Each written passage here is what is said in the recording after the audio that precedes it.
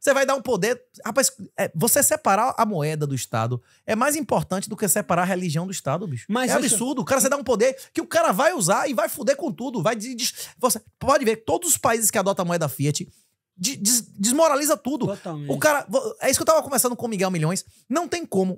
O sucesso da pessoa no mundo, qualquer sucesso, como atleta, como profissional, como marido, na religião, depende de preferência temporal. Você ser capaz de renunciar ao presente pelo futuro. Você tava falando do seu ciclo de alimentação que você vai fazer. Rapaz, é uma coisa mais foda que fazer um jejum que você vai fazer aí, bicho. Você vai perder quantos quilos em quantos dias que você falou? Porra! O cara, pô, o cara é pô, bom de memória, que- hein? Puta porra, que. é isso. É uma biblioteca. Não, pô, mas é foda você fazer Ah. isso ou não. Você não pode comer um. um- É sabe o que é foda? Sabe o que que é foda? Tomar pau e perder meu dinheiro, não é isso? O foda é você tá fudido, ganhando pouco num trabalho ruim. Então, eu. Mas a maioria da galera tá em forma ou tá gordo? Tá gordo. A maioria da galera é poupador ou é, ou é devedor É líquido? devedor.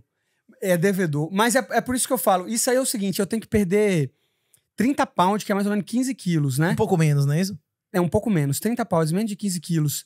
Ma- mas, mas eu tô acostumado e pra mim não é problema. Rapaz, bicho, qualquer pessoa que tivesse fazer esse ciclo, o cara sente, velho. Subir, você fazendo a atividade que você faz, É. consumindo como é 600, 700 calorias por dia, é foda, É. velho? Eu tô fazendo. Tre... e- E, Rapaz. tipo assim, e você já ouviu falar do Grace? Eu, eu também já fiz bastante a dieta Grace. Ela, ela se combina em combinações Não, mas a dieta alimentos. Grace não é uma porra dessa pra você perder peso loucamente. De- é depende porra- do jeito que você usa. Como é que Porque os o que, caras que é fazem? perder peso? Todo mundo fica falando de perder peso. Só tem uma, uma forma de perder peso. Você quer, o, quer que nem o capitalismo. Qual que é a forma?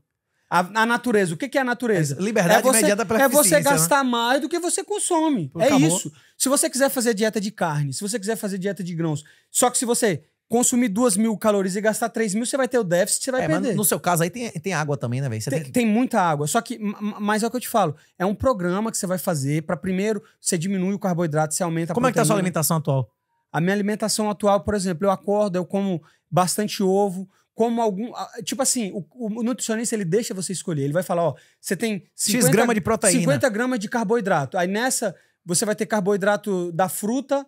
Então eu como bastante abacate, como bastante ovo, como bastante frango. Porra, aqui Entendeu? aquele abacate raiz é, é- é fácil de achar lá no Top, Brasil. né? Só porra. abre assim. Eu sou é. gorduroso pra caralho, aquele É. abacate bola do Brasil, né? É, exatamente. Mas a gente também acha esse do Brasil aqui, mas eu até prefiro o menorzinho, que ele já fica na. Mas gorduroso não estraga aquela não cascadura, né? estraga, exatamente. Então, é, aí, por exemplo, aí eu vou pro treino, tomo suplemento, tomo as minhas paradas, aí. É, tipo assim, sempre fazendo cardio também, corrida, é, é, bicicleta, pra ajudar mesmo. É, é déficit E esse calórico. anelzinho aí, você recomenda mesmo esse negócio? Esse aqui eu recomendo demais. Você tava falando isso aqui, mas a gente fica recomendando, o cara não vai pagar nada? Vale a pena? É isso, mas é top, Qual né? que é a minha, a minha motivação econômica pra recomendar Então ele? pronto, nem diga o nome da porra. Não, é uma vou vantagem dizer, vou comparativa dizer. pra você, não é Não, isso vou dizer o seguinte: Porque- esse anel aqui, ele, ele mede tudo, entendeu? Batimento, temperatura, sono. Pro cara que é atleta, vale a pena. Porra, Vale no, a se pena. ver a qualidade do sono, quantos minutos você dormiu, né? a hora que você acordou, então, quanto você teve de sono no REM. Então, Não, os caras, a maioria da galera que usa smartwatch hoje em dia é pra buscar esse tipo de, de big data. ma- né? mas, ele é, mas ele é menos é, preciso. É mais preciso que o relógio. Ele é mais preciso. O relógio, até porque, por exemplo, eu tenho esse polar. Aí quando eu vou fazer treino de HIT, tu sabe treino de HIT? de Sim, dá os picos, não é isso? Dá os picos. A gente, eu coloco o, o. Como é que chama? O polar, a fita. E aí você Isso Ah, é mais preciso que o polar. É mais preciso. É, não, o polar é mais preciso ainda, mas ele fica quase de pé de igualdade. O, o, o do iPhone, ele é pior. Ele, tipo assim... É inferior. Ele te, inferior, ele te dá uma base. Mas preciso mesmo é a fita. E, só que esse aqui é a facilidade que você tem. Porque, por de não exemplo, ter que ficar com a merda no eu não, negócio. eu não consigo dormir com o relógio. entendeu? Horrível, né? Então isso aqui eu, eu, eu durmo e, e aí eu acordo, vejo a temperatura, vejo como é que tá. Eu extremamente recomendo pra tua luta com o Alan dos Santos aí. Você... Eu- Não, pô, se fechar mesmo, se fechar mesmo, eu vou, Não, vou ter que treinar mesmo, como eu não, nunca tá- treinei também, né? Isso? Já- já- É? Porra, Alan é bem mais alto do que eu, porra. Ele tem- menos peso, mas na hora que chegar lá, ele vai ter que dar 10 ou 20 quilos, não é isso ou não? Ele não vai estar com 70 quilos na hora da luta, né? O cara vai chegar lá com 80 quilos pra cima, não é isso? An- É? Antes, Sim. do, antes do negócio, a gente tava falando, né? Que você é lá de Salvador, você conhece a galera do boxe, lá tem galera do boxe. Porra, eu forte. tive uma academia, porra. Eu fui sócio, eu- inclusive minha, minha, minha maioridade foi pro estabelecimento comercial. Eu abri uma academia na rua da UNEB ali, na Estrada Como das é que era o nome da Tinha academia? luta, dinheiro, a porra toda ali. Como é Arena. era o nome? Era o nome Arena Academia. Inclusive, quem era meu sócio é Cifo Marcos. Hoje em dia ele tem uma academia do caralho ali no, no Rio Vermelho. Treinou com um cara de sapato, vários desses caras aí. Pois é, aí o Cigano tava te mandando um abraço.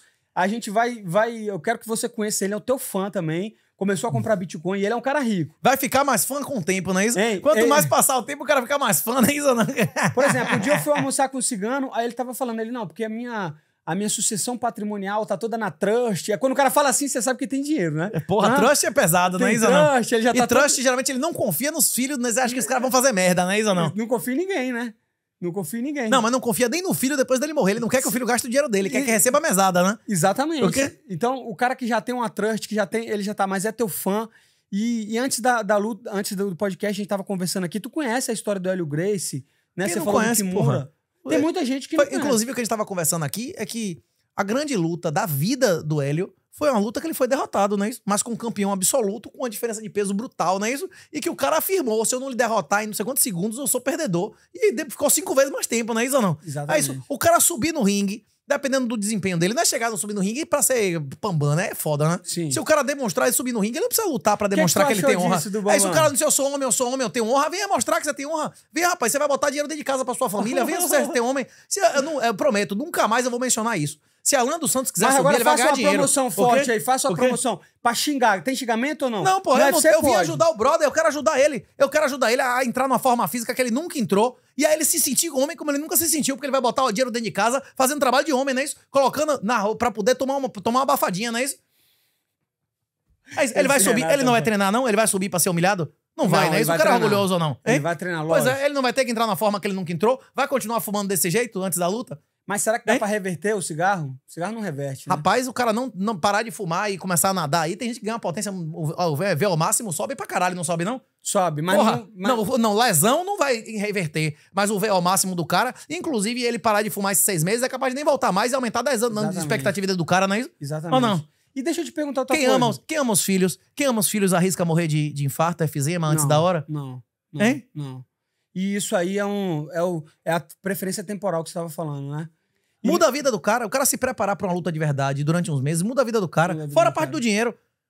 E sem falar Tem. outra coisa. a- tipo assim. E depois ele pode desafiar Xandão. Xandão, Xandão também luta a porra toda, tá 12 anos fazendo, não é isso?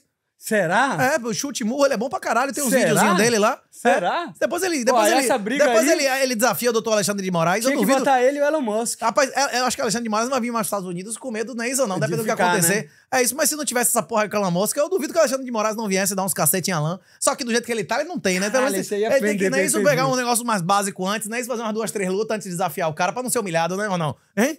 E, e, Renato, O quê? Deixa eu te perguntar outra coisa. De eu- chão eu não sei não, mas de chute murro eu já vi o, o, doutor Alexandre Broca. viu? Sabe? O que É maior, é mais forte que, que E inclusive se que fosse, fazer, viu? um, e se O fosse fazer uma luta tu e ele? Tu ia? Não, eu tô fora, porra. O cara é- Você já viu o tamanho do cara? Aí, O a cara tem- primeira arregada do... Porra, do... o, cara tem, o cara tem quase 30 quilos mais do que eu, porra. 30 centímetros mais ou não? Mas é e o essa, Hélio? Gracie e o? Kimura? Lembra do que tu falou? A luta que ele mais Sim, mas venceu foi que ele jiu-jitsu perdeu. eu vou. Jiu-jitsu eu encaro qualquer um. Agora, na, na trocação de chute murro, o cara com uma envergadura de 60 centímetros mais do que eu ou não? Lesão cerebral? Não, Ah. pô, mas eu não vou... Você entendeu, Godorinho? Eu não vou nem encostar no cara, porra. Hein? Depende o Mike Tyson. Mike Tyson, o menor peso pesado da história, Pois campeão é. com 21. Pois é, foi apelar e mordeu a orelha do cara quando ele encostava, era clinch, não é isso? Mas já tava não? velho, já tava velho Não, ali, pô. inclusive o, o cara apelou, né? Toda Sim. hora que clinchava, o cara se... Não, porra, não tá levando a luta a sério, né? Exatamente. Mas, mas ali, você sabe o que foi aquela mordida do... Eu vou te falar agora, você vai me dizer se não é. Porque você falou, você só me convence com fatos e lógica, né? Me E convença, eu né? concordo, então eu vou te convencer. A mordida do Mike Tyson foi o grito do Alan dos Santos. Quando o cara vê que não consegue mais Que não ganhar pra luta, ir, né? ele, aí o que, que ele faz? Eu vou ser... disc- Eu tô falando isso porque eu já fiz Eu vou sair, isso. eu vou ficar de cabeça erguida daqui. Eu, já sou homem, isso, porra. né? Exatamente. Eu comecei a treinar jiu-jitsu, né? Com quatro meses de jiu-jitsu, meu professor falou: não, você vai lutar vale tudo. Você vai lutar vale tudo e tu vai começar. E eu não queria ser lutador. Eu não queria ser lutador, mas meu, meu treinador falou: meu irmão, você vai ganhar dinheiro, você vai. Aí eu, beleza. Não, e você tem uma envergadura da porra pra sua altura também. Você tem várias eu lutava, características eu físicas. lutava de 61 quilos, Porra. com 1,80m, entendeu? Só que aí ele falou o seguinte: antes de você lutar no Vale Tudo, você vai fazer o Muay Thai. E tu sabe que o Muay Thai não tem. Você não tem correção nenhuma, divisão. Não- o, o Muay Thai é soco e chute, mas não tem queda. Aí você não tem miopia, nada. Você não tem nenhuma nada, nada. Zero. pariu. Ou o cara viu um menino desse aí, disse, rapaz, eu vou ganhar dinheiro com ele, né? Ele, fa- ele falou exatamente, ele falou, meu irmão, você lembra? Porque o Anderson Silva ainda estava em alta, né? Ele falou, meu irmão, tu pode ser um, um José Um Aldo, tu pode ser um Spider. Acabou que eu até lutei com o José Aldo e perdi, infelizmente, né? Mas eu nunca pensei em lutar com o José Aldo. O José Aldo é uma lenda, né? E, e por que que eu tô te falando isso? Porque eu fui pra essa luta de Muay Thai e o cara começou a me bater, me bater, chutar a perna, chutar a perna, eu não aguentava E você não mais. tinha costume, né? Não tinha os- costume. Aí eu olhava, queria tirar a luva, olhava o treinador, o treinador falou: se tirar, você nem volta na academia. Seu covarde, né? É, exatamente. Aí eu, Aí eu falei, Você querendo meter uma mesmo com a mão dentro, Não, né? eu queria, eu queria tirar a luva E e ir embora, agarrar. entendeu? Eu olhava pro corner, olhava pra minha família, todo mundo vendo a luta. Aí eu falei, quer saber, eu vou tacar esse cara fora derrota. do ringue. Exatamente. Eu vou tacar esse cara fora do ringue que acaba a luta, entendeu? Aí eu peguei e taquei fora do ringue. Aí era pro juiz me desclassificar. Sim. Porque ele falou, não pode agarrar, é é só em pé. Aí Não, não era luta de vale tudo, era luta não, de era trocação. de kickboxing. Era kickboxing. Aí, como eu tava tomando um pau do caralho, eu falei, eu vou jogar ele fora que o, o cara vai me desclassificar. Só que a plateia tava gostando. E devolveram o cara. Aí devolveram o cara. devolveram o cara. Coisa Aí, de filme americano, irmão, né? Coisa e de- tem um vídeo no YouTube, eu mostro, eu boto aí. E aí, o cara jogava pra fora. Aí eu pegava e quedava de novo. O juiz, ó, eu vou te desclassificar. Eu tacava, de... eu dei umas cinco quedas no cara, até que o juiz falou, meu irmão, Que porra é essa? que porra é essa? Aí, meu irmão, eu tive que entrar na porrada. Acabei, acabei perdendo, mas isso aí é, entrou na minha cabeça depois. Você não pode fugir.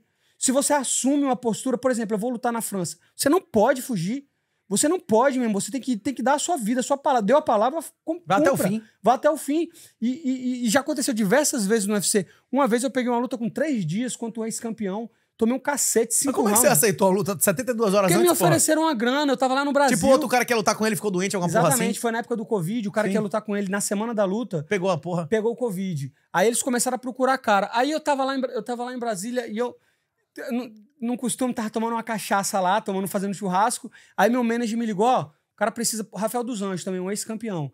E aí eu falei o seguinte, quer saber, eu luto, três dias, eu luto. Valendo de cinturão. N- meu irmão, não, mas o cara falou, beleza, ó, qual que é a grana? Era uma grana, era uma grana Mas sem boa. cinturão. Sem cinturão. Sem cinturão. Mas ele falou, meu irmão, uma grana boa. Eu falei, quer saber? Eu vou lá pegar essa porra e foda-se. Só que eu não fui lá só pegar o dinheiro, porque senão era só me jogar e. Não, assim eu vou com o doutor Alexandre de Moraes no jiu-jitsu, pode chamar, viu? Você tá entendendo? Porque, Porque, tipo assim, não, o que eu tô falando é o seguinte, mas esse é meu trabalho. Agora eu não posso, eu não posso me, tipo, me predispor, é, é, treinar, passar meses, fazer e chegar lá, dar pra trás, não tem essa opção.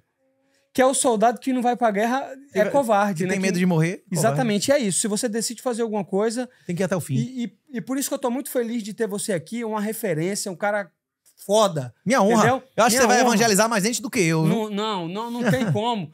Você já tá. Você já evangelizou muita gente. E hoje em dia eu vejo que você é uma figura mainstream. Antes você era um cara, tipo, Marginal, né? marginal. Você falava pra uma galera. é, como é que eu posso te dizer? De nicho. De nicho. Exatamente, de nicho, né? Que, se- que eram os libertários, que eram. é, é, Bitcoin, né? Bitcoin, exatamente.